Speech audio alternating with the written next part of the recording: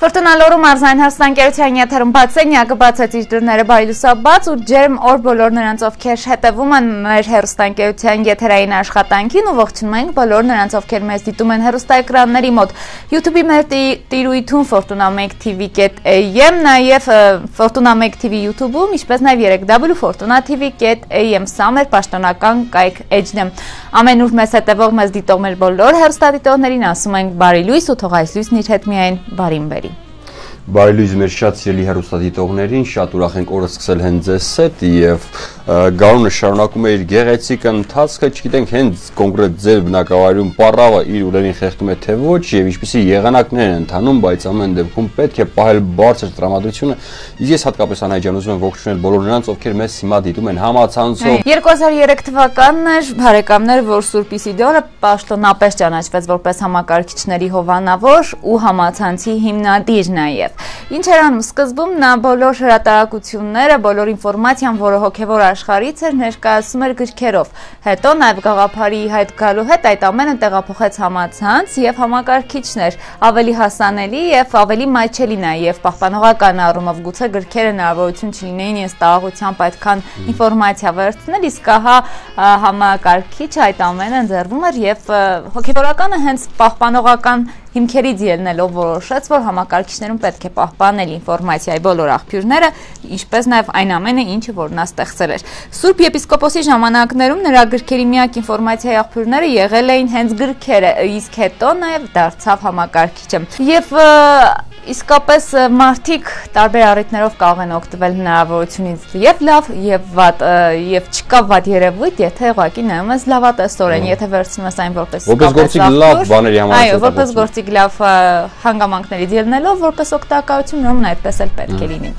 Շնորհակալություն, իսկ մենք ողջունում ենք բոլոր նրանց, ովքեր այս պայն միացան մեզ եւ երաշտական կատարում հնչում է մեր բոլոր հերստադիտողների համար։ Բարի լսաբաց։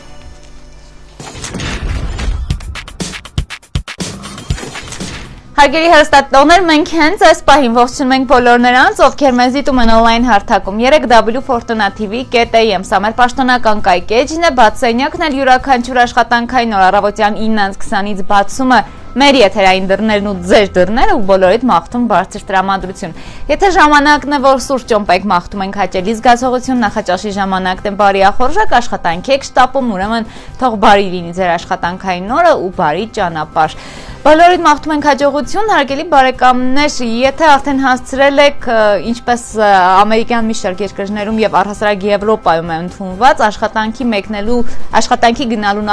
նախնական կանոններից մեկը շատ հանրահայտ ընկերություններում սեփական էլեկտրոնային հասցեն ստուգելն է։ հա։ Այսինքն յուրաքանչյուր աշխատանք այո սկսվում է հենց էլեկտրոնային հասցեի ստուգմամբ։ Գուցե հենց այդ օրը ձեզ Շատ կարևոր գործնական առաջարկ ստացած լինի։ Այո, գործնական առաջարկ ստացած լինի կամ որ ամենավատ տարբերակն է գուցե հենց տնօրեն աշխատանքի ձեզ հեռացրել է էլեկտրոնային հասցեն չստուգելու պատճառով։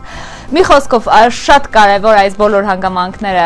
ավելի մեծ երկրներում, իսկ ահա մեր նման փոքր երկրում կարևոր է նաև ուսումնասիրել, թե առհասարակ ինչ է կատարվում համացանցի այս կամ այն անկյուններում, որովհետև ինչպես գիտենք, ինֆորմացիան դա ավելի հստակ է դարձնում մարդուն ու ավելի վստահ։ Վստահություն ներմուծվում է նաև համացանցի շուրջ կառավարման մեթոդներն իմանալով, որովհետև ինչպես գիտենք ոչ միայն այն հաճելին ու օգտակար կարող է տալ, այլ նաև վնասակար է եւ շատ խնդիրների առջև կանգնեցնել ոչ միայն հասարակ օգտակներին, այլ նաև պետությանը կամ ավելի մեծ ընկերություններին, ովքեր համացանցի միջոցով հենց շահույթ են հետապնդում։ Ըստ համացանցի կառավարման շուրջ բարեկամներ աշխատանքային խմբերի սահմանման շատ բարդություններ կարող առաջանալ, եթե չպահպանվեն նաև կանոնադրությունները։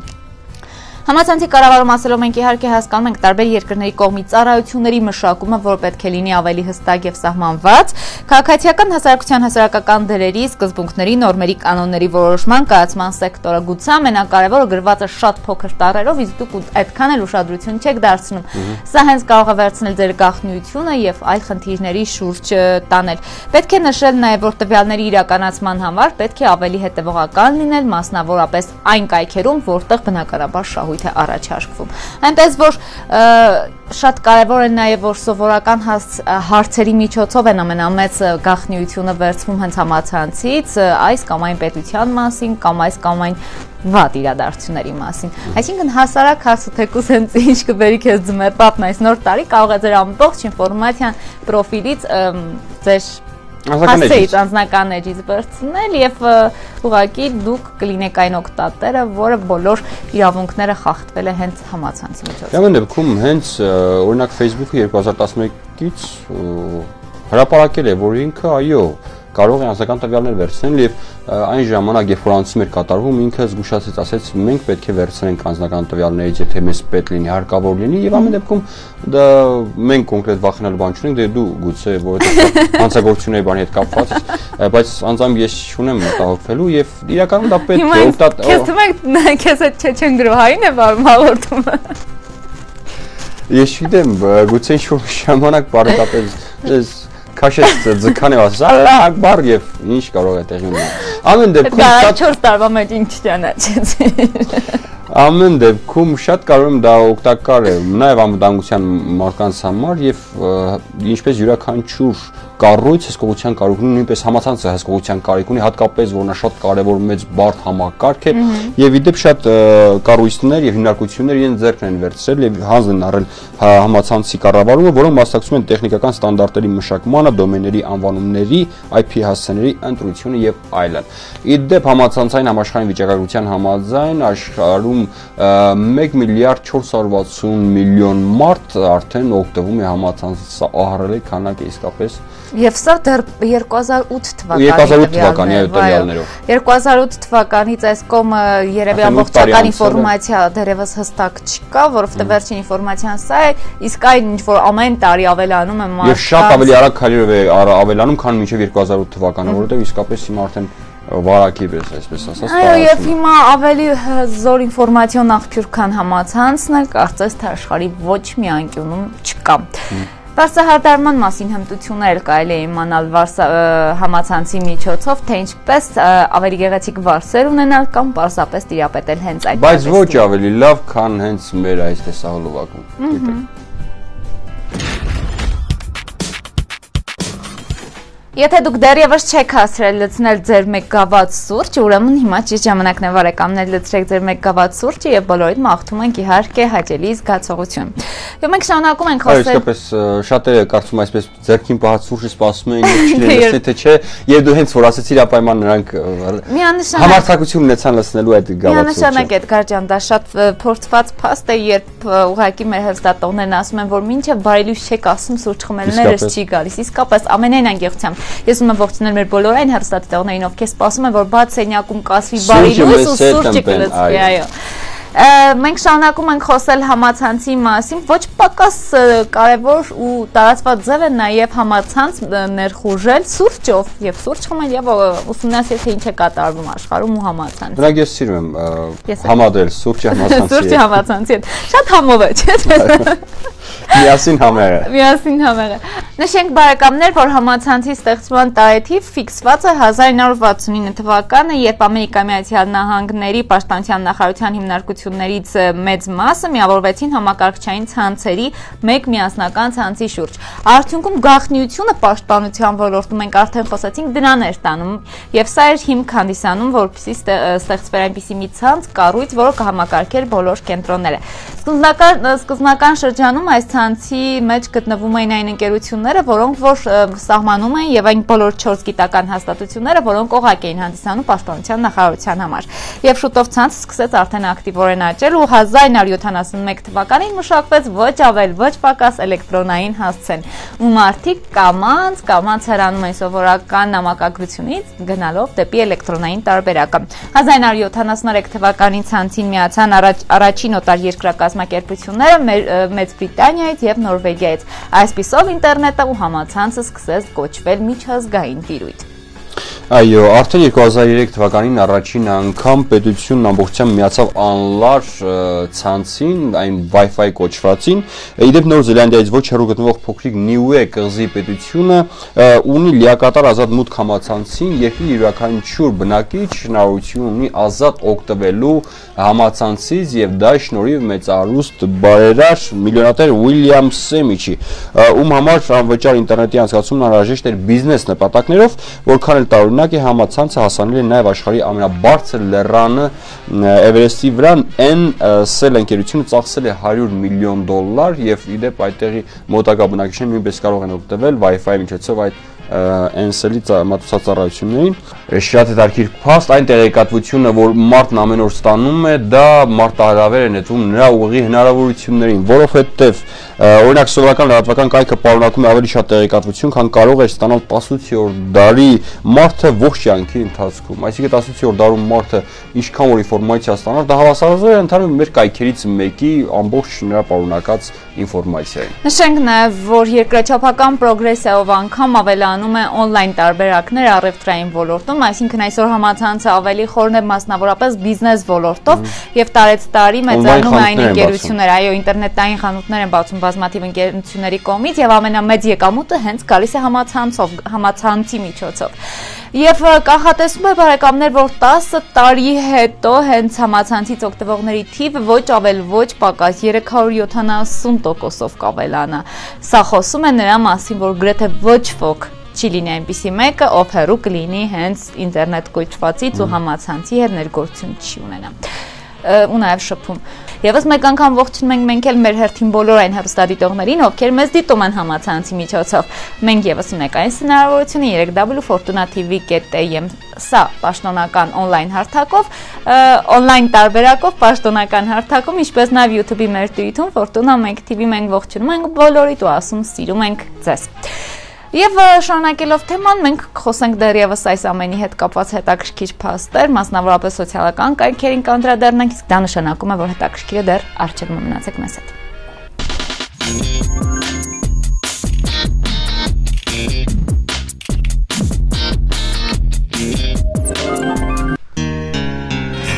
Հարցանեկան զգեստներ համադրված կաշվե բաճկոնների հետ, նորապսակների ֆոտոշարք ծովի հատակին եւ 1 միլիոն դոլար երկու օրում, ով կարող է աշխատել։ Ողջույն։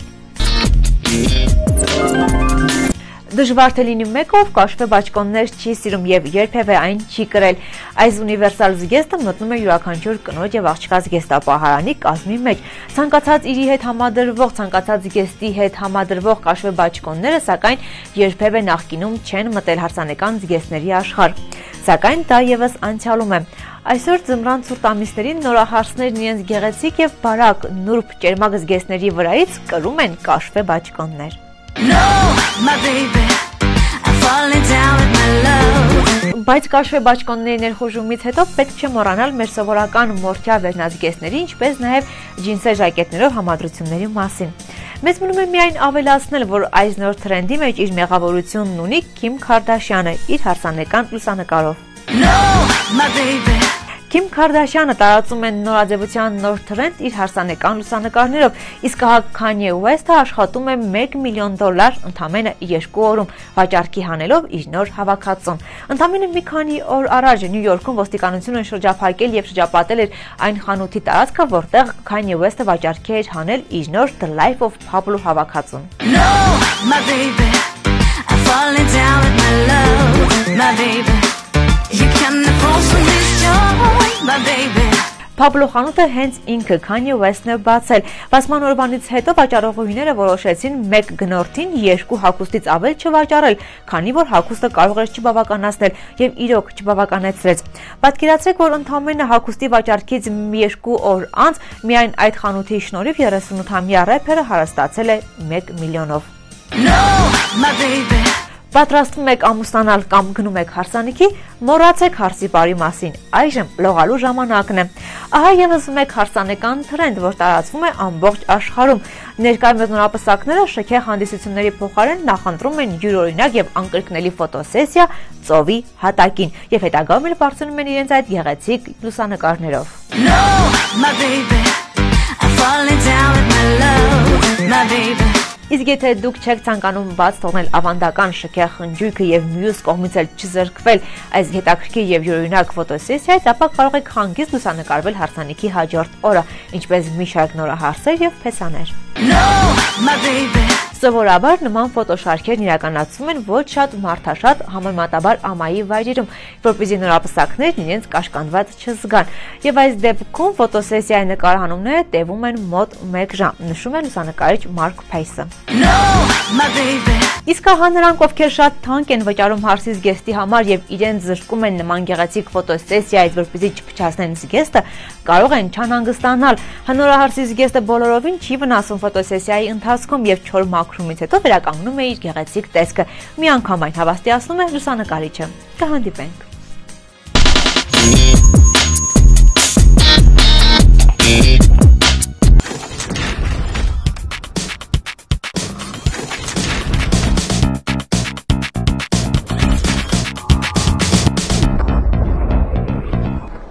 Սիրելի հստատեղներ, արդեն ժամանակն է որ Գայանին էլ ողջունենք, բարի լույս Գայանե։ Բարի լույս Գայանե ջան։ Ողջույն, Ուզում եմ ասի, ես Գայանին Գայանեով եմ դիմում, ինքը Գայանե ջանով։ Այո, իհարկե, միշտ Բայց այդպես է։ ամեն ինչ Երանքան եթե ես ջանը չեմ շեշտում այդ Գայանե մեջ այնքան ջան կա, ընդհանրապես բոլոր մարդկանց անունը տալիս եմ։ Ահա, իսկապես։ Չգիտեմ Անահիտ տալուս ինչ է խառնում, բայց օրինակ այս դեպքում ջանն էր խառնում։ Կողցնում ես քեզ։ Գայանե, ինչպես ես, ինչից ենք խոսում։ Այսօր խոսենք Եղևնուց եւ նրա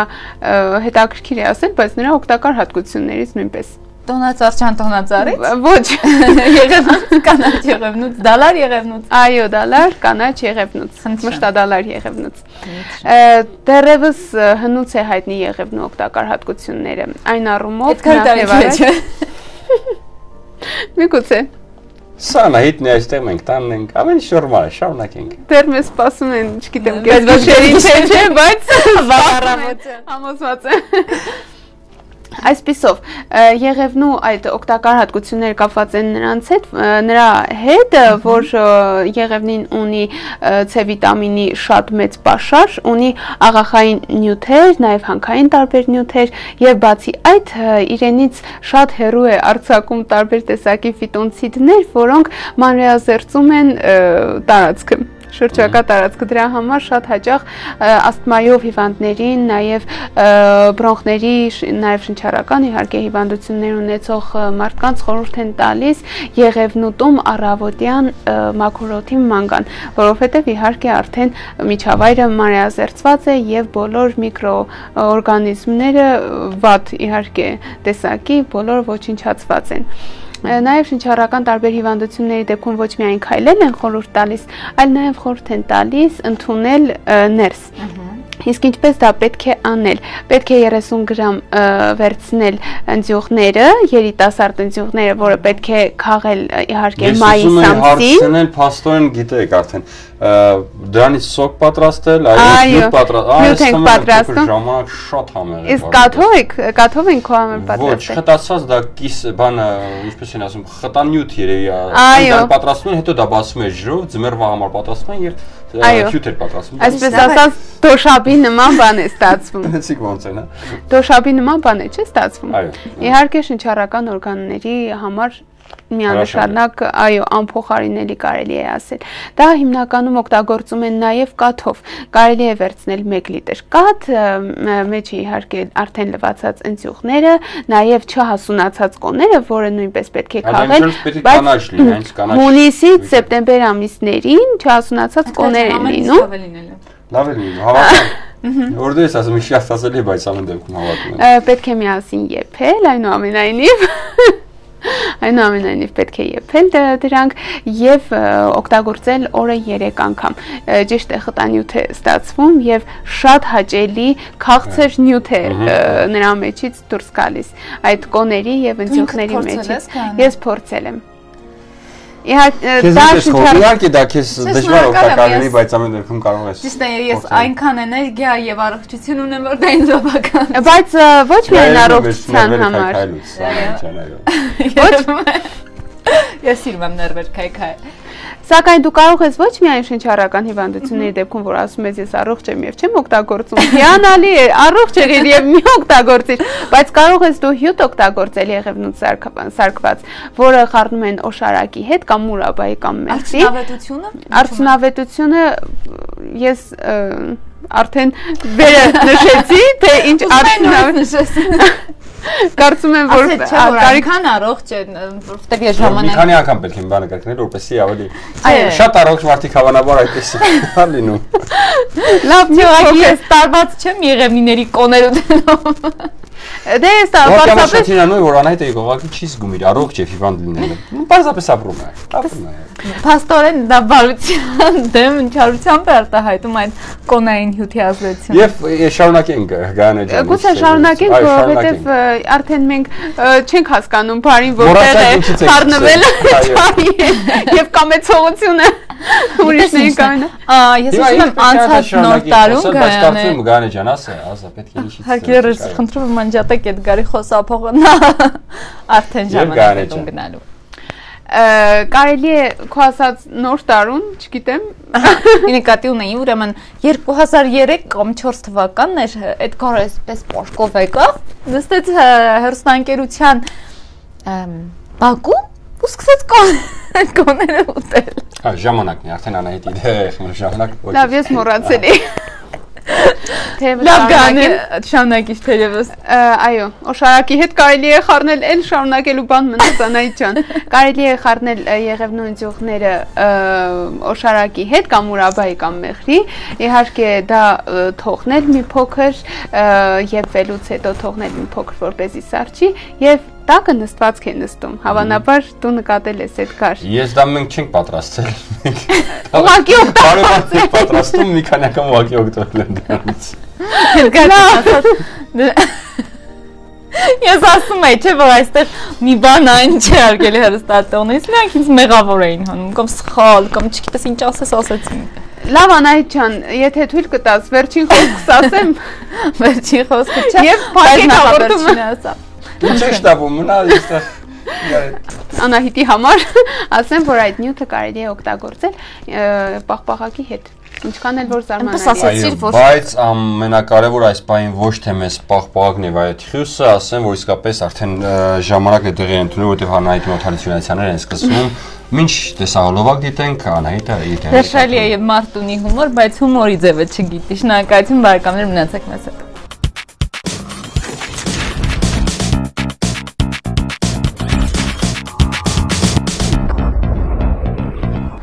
Ֆորտունայի եթերում բաց սենյակն է, բաց սենյակում արդեն հյուրասրահի դռները բացված է, աննախադեպ ը, վիճակ ստեղծվեց հարգելի հերոստատիտողներ կադրից է այս կողմ մենք դժվարությամբ ենք կադրում Այսինքն այնքան հումորան իրավիճակ էր, այսպես հյուրասրահի նախապան չենք ունեցել մենք ուղղակի։ Բայց դա այս ճակերտավոր այս ամենի մեղավորը իհարկե մեր հյուրն է եւ սիրով պետք է ներկայացնենք մեր հյուրին Մովսես Խորենացու մեդալակիր Պարարվեստի երկարամյա գործիչ Համլետ Երիցյանն է Բացենյակի տաղավարում բարև ձեզ պարոն Երիցյան ինչպե՞ս եք Մենք ձեր այն տեղերը, որ 3 տվեցիք, ձեր եթերով լավ եմ։ Կարծում։ Առավոտները այսպես հումորով եմ իշ սկսում։ Գիտեք, հումորը մարդու հետ է, եթե մարդը հումորով չապրի, յա մարդ ծանր կլի։ Յա մեջ թարախություն են ասում։ Մեջ է նստած կլի թարախը։ Լորեցիների մասին ամենավերջին անեկդոտն է դեպքում կհիշեք կամ առհասարակ ամենավերջին անեկդոտը որ լսել եք Դե ես շատ չեմ լսել, բայց ինձ կարող եմ ասել։ Մի լորեցի գնում է Թիվլիս, տեսնում է սախ կոշիկները մանգալ ինքը տրեխով։ Մեկն ասում է, «Բա ինչ անենք որ ես անեմ, մի այդ մարդի ոդկերն շատ մեծ ամ, թե ինչ անեմ, գնա քեզ մար, ասում է փող չունեմ, հանեմ իմը տամ, թե երկու հոտ իսկ կլի միջին, ուզ մեզ դուր ոչինչ։ Ես ուզում եմ լավ ասա Պարոն Երիցյան ուզում եի հարցնել, հարցնենք արդեն մասնագիտական կողմին եւ հետարքի երբ սկսվեց հետաքրքրությունը պարարվեստի նկատմամբ։ Գիտեք, պարավեստը կարծես ինձ հետ է ծնվել իմ մեջ։ Եվ ես սիրով մասնակցեցի փոքր ժամանակվանից Ալեկ Բաղդասարյանը Քանի տարեկան եք հիշում եք։ այդ ժամանակ երևի 8 կամ 9 Ստեփանան քաղաքից տեղափոխվելով պիոներների դպրոց պալատում մասնակցելով խմբակին բարը սկսեց զարգանալ որից հետո Ալեկ Բաղդասյանից տարավ ներկայիս հորել նախկինում Ղուկաս Ղուկասյանը անվան մշակույթի տան վոկալ պարային համույթ որպես մենապարող դա երևի 14 տարեկան էի այն ժամանակից մինչև այսօր ես եւ բեմադրում Պարում էի, հետո նույնիսկ սկսեցի բեմադրել պիոներ պալատում եւ այլ տարբեր տեղերում։ Ինչ է տալիս պարը մարդուն Բարը հենց այն է, որ դուք տեսաք միջև եթերը, ուրախություն, ուրախտրամացություն, առողջություն, ինքնակառավարում, ինչպես ասում, շուտ կողմնորոշվող, որտեղ երբ որ դու կարողանում ես ղեկավարել քո մարմինը, դու կողմնորոշում ես աջ ոտքը, ձախ ոտքը, ինքնազգացումի լավ, դա առողջության համար շատ լավ է, մարմինի աղջիկների համար մարմինի կեցվածքի։ բարոյական հոգեբանության, գեղագիտական դաստիարակության շատ բաներ կարելի ասել։ Տրամաբանության ամենաշատ կարևորը տրամաբան։ Ձեզ համար մասնավորապես Մասնավոր ինձ համար այն ինչ որ ես հասա։ Որտեվ այն Մոսես Խոնասի մեդալակիրը որ տվել են, դա ոչ թե տվել են որ ես լավ աչքեր ունեմ, բոյով եմ, հումորիստ եմ, այլ աշխատանքի համար։ Ահա գնահատականը իմ պարավեստի եւ մշակույթի։ Քանի որ ես մշակույթի տանը աշխատեմ 20 տարի տնորեն, երրորդ մշակույթի տանը, որը հիմա կոչվում է Գուսան Զաքարյանի անվան, իսկ պարավեստով զբաղվել եմ արդեն ասեցի շատ-շատ 50-52-3 տարի պարավեստի մեջ եմ եղել։ Որոնք են այն որակական հատկանիշները, որ պարտադիր են բարողի համար։ Դա մամնի ուղղությունը, դա իր էներգիայի տալը, ասինքն ամիջականությունը, տրամադրությունը, բարի տրամադրությունը պահպանելու եւ տված ղեկավարի պահանջը կատարելով։ Դա հենց բարողի իմանչած ասեմ ձեզ, երբ որ դու համերգ ես նայում, չես ասում լավ է բեմադրած, վատ է բեմադրած։ Դու նայում ես կատարողականությանը եւ փառատոները որ լինում են, դա առաջի հերթին կատարողականությունն են գնահատում, հետո բեմադրությունը, հակոստը եւ այսպես գնում է։ Իսկ ամենակարևորը ինչպես թատրոնում կերպարը կերտում են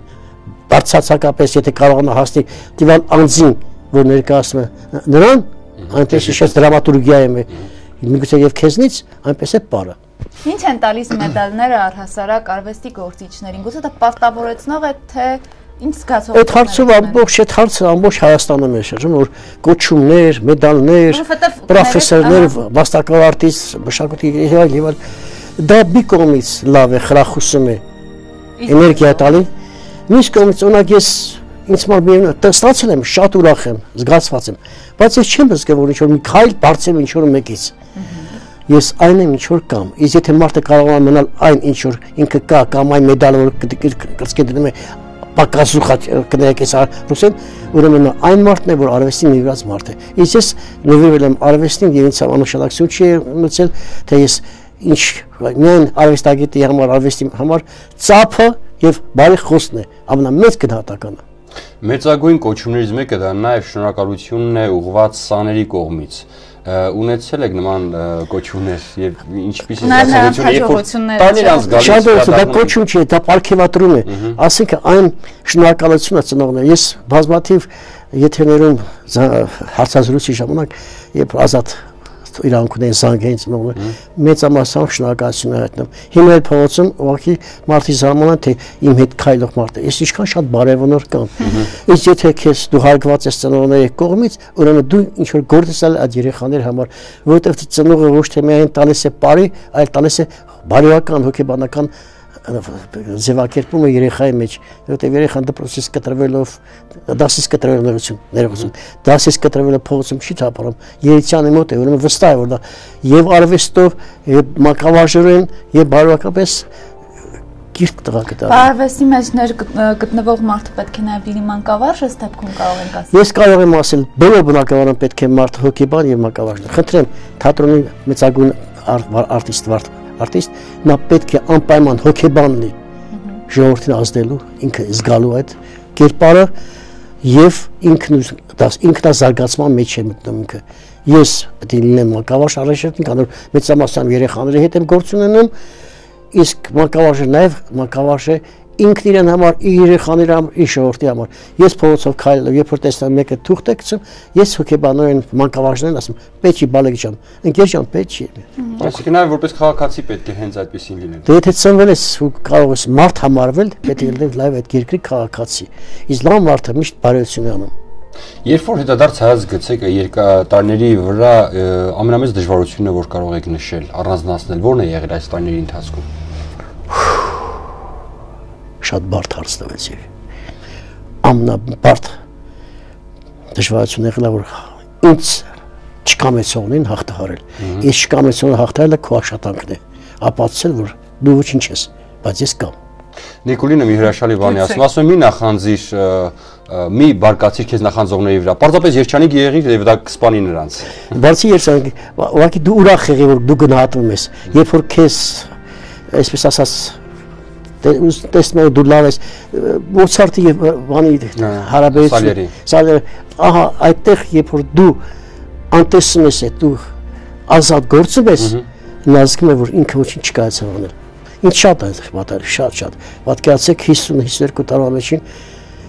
12-13 տարի այդ տանջակի մեջ եմ, բայց իմ խմբերը բարձր մակարդակ են եղել, իմ միջոցառումները բարձր մակարդակ են եղել, օրինակ ես ստեղծել եմ Հայաստանում առաջի անգամ մանկապատենական երկիպայի թատրոն, որտեղ թատրոնի ամեն թատրոնման շորթական արտիստուհի Ռուզա Մխիթյանը խաղացել Լուսաուքի ռազմիկ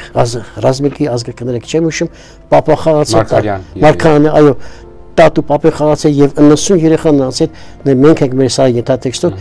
պիեսի եւ բեմադրամության հեղինակը ես եմ այդ հարվածների մեջ ստեղծել եմ մի բան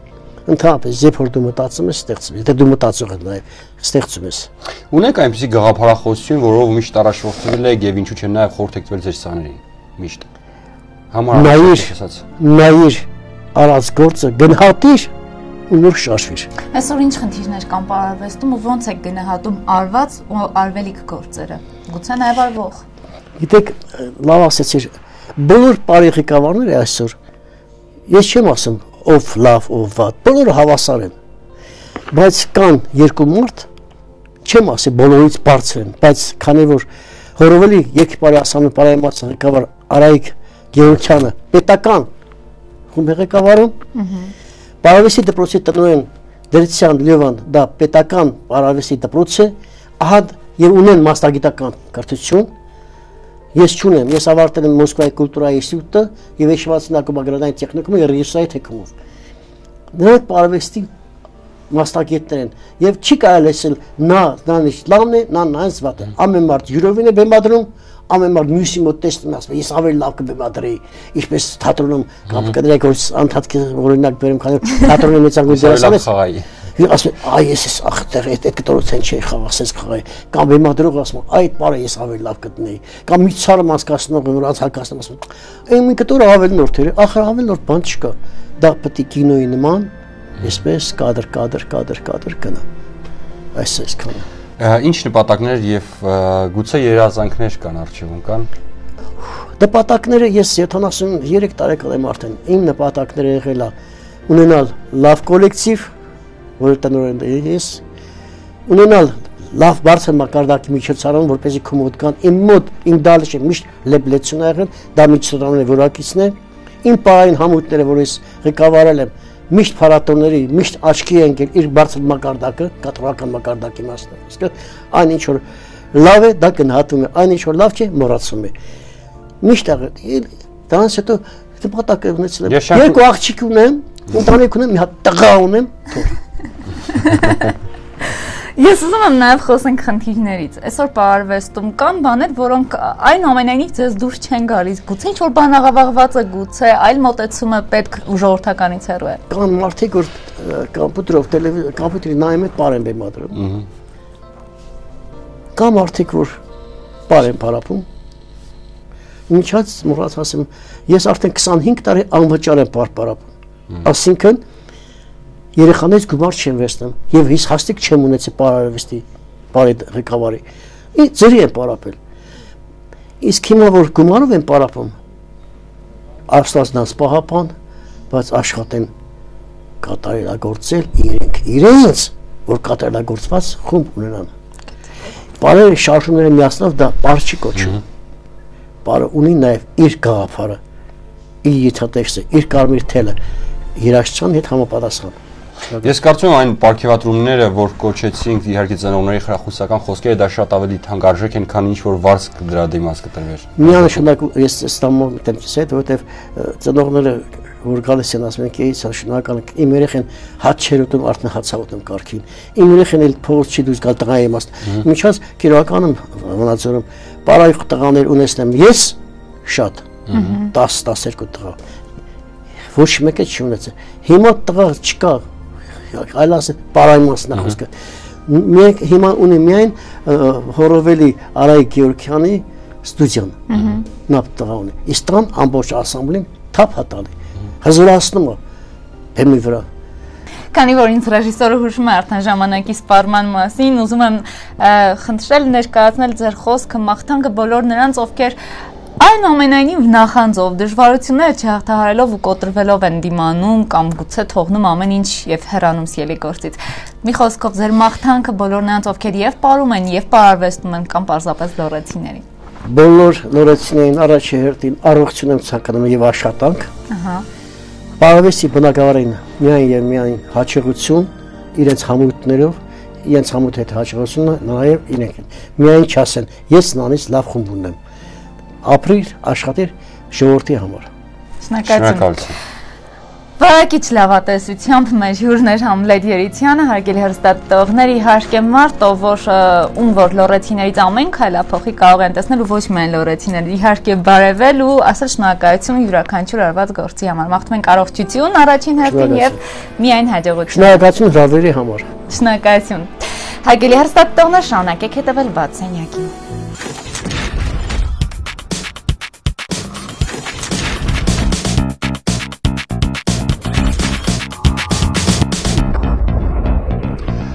Սիրելի հերոսայտողներ, հիմա ուզում ենք ներկայացնել շատ հետաքրքիր ինֆորմացիա համացանցի մասին, այո, շարունակում ենք համացանցի թեման եւ աշխարհի ամենամեծ սոցցանցը համարվում է Facebook-ը, նրա հիմնադիրը Մարկ Զուկերբերգն է եւ այն ունի արդեն 1 միլիարդ 110 միլիոն օգտատեր։ Պատկերացնու դա ինչ ահռելի քանակ է։ Այսինքն քիչ է մնում որ հասնի Չինաստանի մարդկանց քանակին։ Կարելի ասել մեծ պետության ղեկավար էլի, Չինաստանի պես պետության ղեկավար է։ Համաձայն Հարավային Կալիֆոռնիայի գիտնական Facebook-ը։ Այնքան բան ունի որ վարչապետն տեղարանքում չի երևում գիտնական Մարտինգ Գիլբերտի 18-րդ դարի իհարկե քիչ առաջ սա ներկայացրեցինք 18-րդ դարի մարդը կարող էր ուսումնասիրել 50 գիրք իր ամբողջ կյանքի ընթացքում բայց այսօր մարդը ստանում է այնքան ինֆորմացիա որ հավասարազոր է 600.000 գրքից ցախակախ արած մտքերի դե հիմնականում դե հենց այդ մտքերն են որ մեզ պետք են գալիս ամբողջ գրքից մենք կարող ենք կարդալ եւ հիմնականում նրա գոհարներն են տպավորվում բայց այդպիսի գոհարներ մարդը կարդում է մոտավորապես իր կյանքի ընթացքում 600.000 գրքի համարժեք եւ նաեւ շատ տարիքի է, որ աշխարհում ամենաարագ ինտերնետը մատուցում է Հոնկոնգը, այնտեղ 1 վայրկյանում 54 մեգաբիտ վայրկյան արագություն կա, այսինքն HD որակի ֆիլմը 4 րոպեի ընթացքում կարելի է ներբեռնել։ Այո։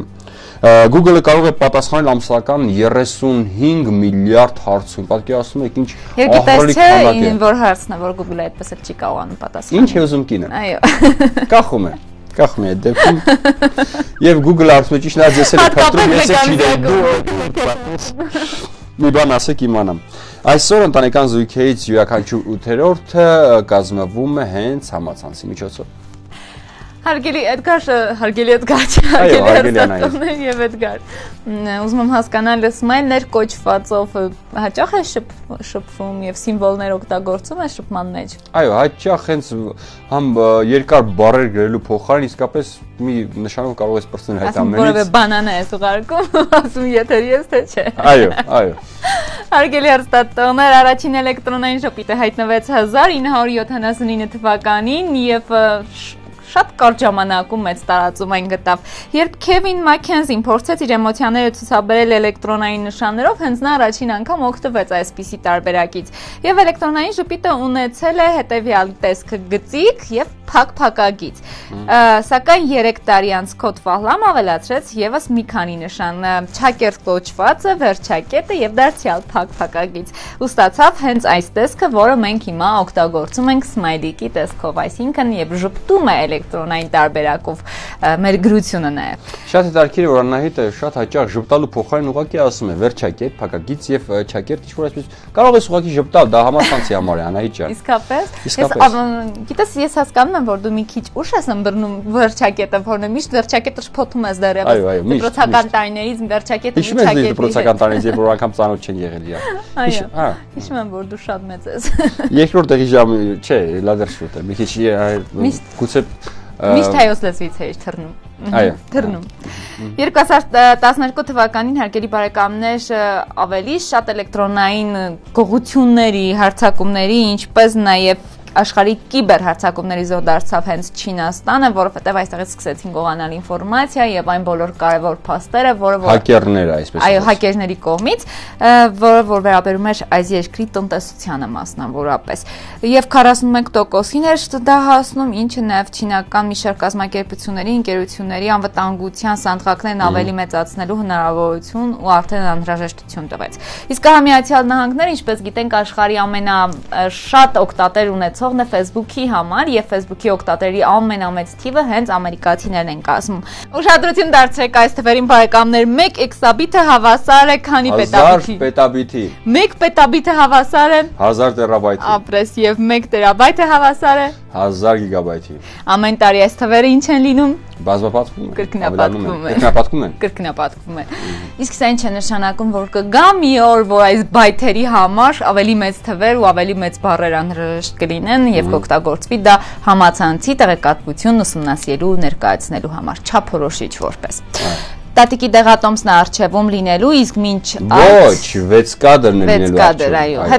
նկատի ունեմ տատիկի դեղատոմսը լինելու է արխիվում։ Այո, անպայման 6 կադրից հետո։ Ահա, մնացեք մեծ հետ։ Սիրելի հերոսատիտողներ, մենք վերադարձանք, ինչպես Անահիտը խոսացել էր, տատիկի դեղատոմսն է եւ այս անգամ նա շատ օգտակար բաղադրատոմսերով է եկել եւ այս անգամ տատիկը մեզ առաջարկում է կարմիր բազուկը եւ տեսեք թե ինչպիսի մեծ ցանկ կա նրա օգտակարության մասին։ Կարմիր բազուկը կանխում է անեմիան եւ նպաստում հեմոգլոբինի արտադրությանը, օգնում է օրգանիզմում նոր բջիջների ստեղծմանը, այդպիսով նպաստելով մարդու երիտասարդացմանը, լավացնում է մարսողությունը, կարգավորում է նյութափոխանակությունը, օրգանիզմից հեռացնում է թունավոր նյութերը, կանխարգելում է չարորակ ուռուցքի առաջացումը կամ արկայության դեպքում դանդաղեցնում է դրանց աճը, մաքրում է անոթները, օգտակար է աթերոսկլերոզի եւ արյան բարձր ճնշման դեպքում, ունի միզամուղ, ցավազրկող եւ հակաբորբոքային հատկություն, բարձրացնում է օրգանիզմի դրողականությունը եւ վերջապես անփոխարինելի է վահանաձև գեղձի հիվանդությունների դեպքում իր մեջ պարունակվող յոդի ռեկորդային քանակի շնորհիվ։ Բազուկը, որի կալորիականությունը ընդամենը 40 կա տալ է 100 գրամ կարևոր տեղ է զբաղեցնում դիետիկ սննդակարգում։ Լավագույնս հանգեցնում է քաղցը միևնույն ժամանակ ցածր կալորիականության շնորհիվ չնպաստելով ճարպակալմանը։ Բազուկի օգտագործումը հատկապես ցուցված է եղի կանանց։ Այսինքն շատերը ուզում են չճաղանալ, չգիրանալ, բայց ստանալ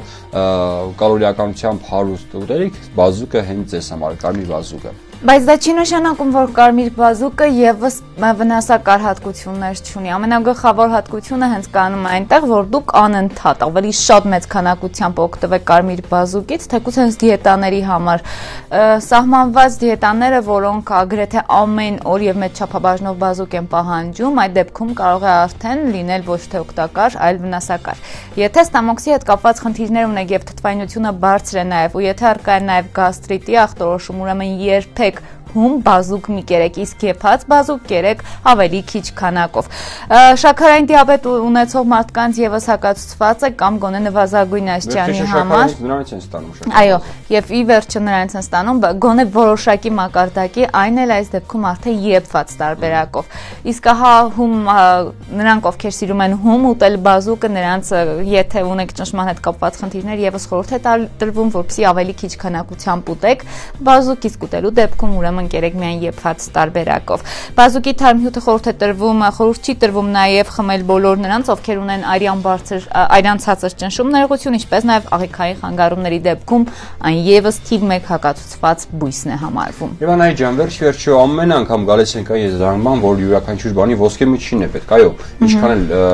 բույսը կամ ինչ-որ բան շատ օգտակար լինի, չափի մեջ պետք է օգտագործել, ինչպես բազուկը, տեսանք թե ինչքան կարևոր բաներ կան նրա համար, նրա մեջ պարունակվող, բայց ամեն դեպքում իհարկե նաև բժշկի ցուցմամբ կարելի է եթե ստամոքսի հետ կապված խնդիր կա, իմանալ չափը ինչքան կարելի օգտագործել։ Միանշանակ։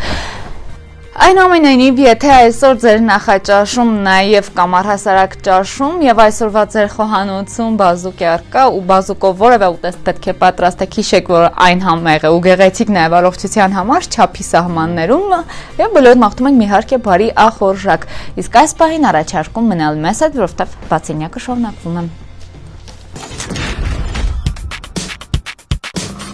Սիրելի հերոստատիտողներ, շարունակում ենք մեր հաղորդումը եւ ահա մեր վերջին բաժնում նույնպես անդրադառնում ենք համացանցին եւ այս դեպքում ներկայացնում շատ հետաքրքիր ինֆորմացիաներ։ Ցավոք սրտի առաջինը մի քիչ տխուր փաստ է, բայց ամեն դեպքում պետք է նշել, որ համացանցի հայտնվելուց հետո դավաճանությունների թիվը աճել է եւ այն աճել է 3-ով։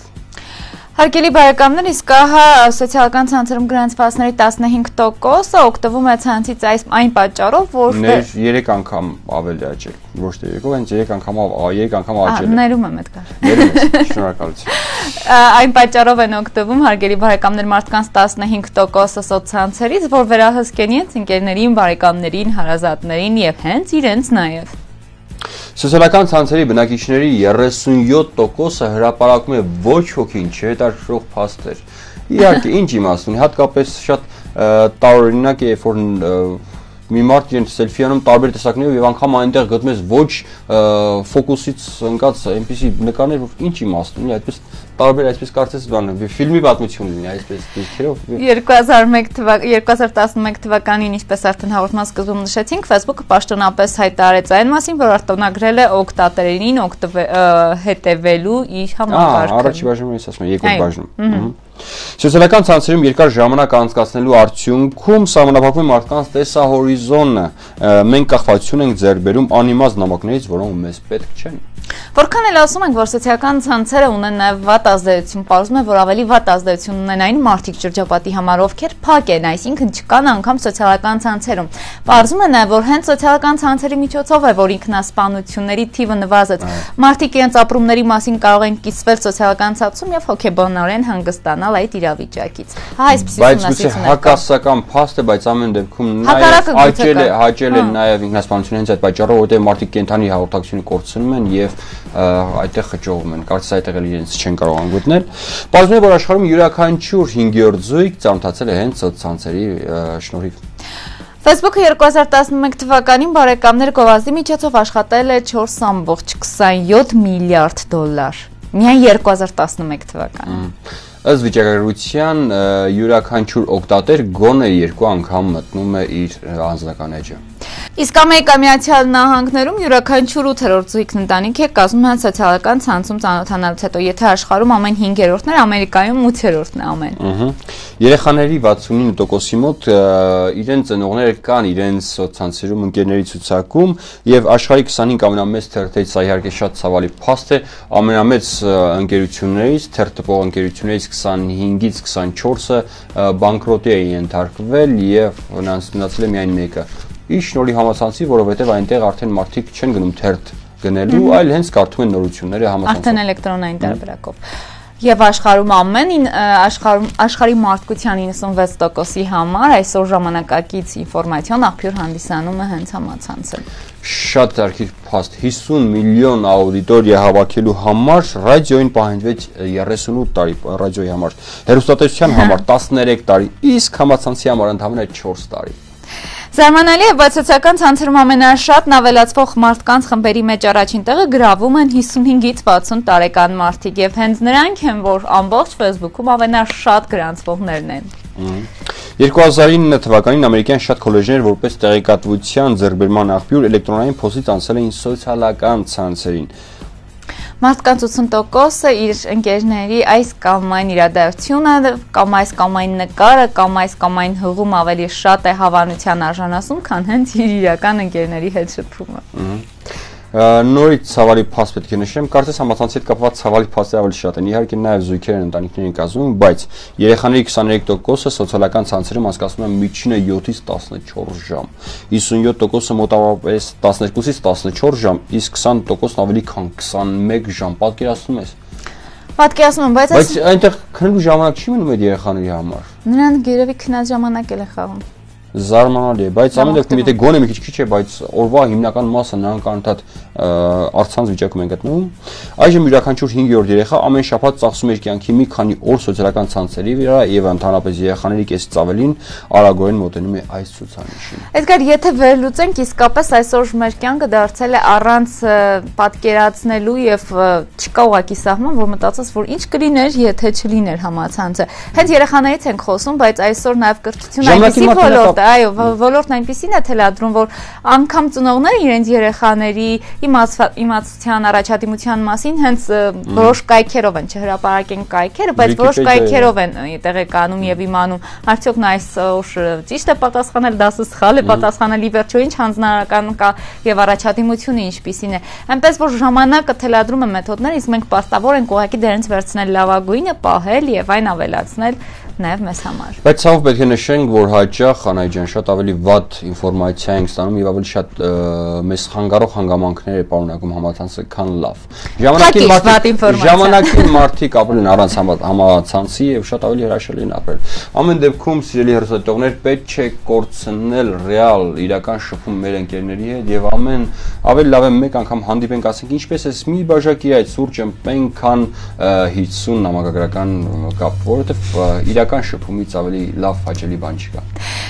Մենք ողջունում ենք բոլոր մեր հերոստատիտողներին, բոլոր մեր ընկերներին, լինի համացանցի միջոցով ձեռք բերված թե առհասարակ, ով ում որ հանդիպել են կյանքի ընթացքում բոլորդ ողջունում ենք։ Բոլորս մաղթում ենք միայն հաջողություն բարեկամներ եւ լավ ու բարձր տրամադրություն կհանդիպենք եթերում, շփտացեք լայն, հիշեք ամեն ինչ լավ է լինելու։ Մնացեք բարի։